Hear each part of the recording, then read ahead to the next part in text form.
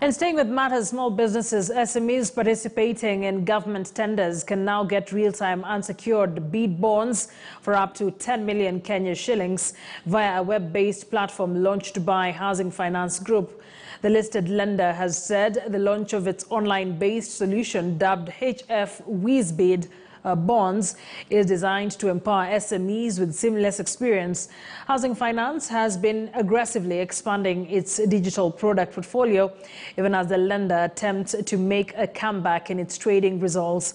HF Whizz Bid bonds is the latest edition of HF's uh, digital uh, banking offering.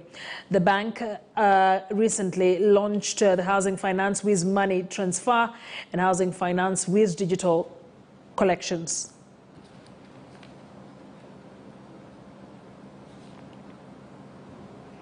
Finally, on business, being a mechanic has always been seen as a man's job, but over the years, very few women have been changing the script.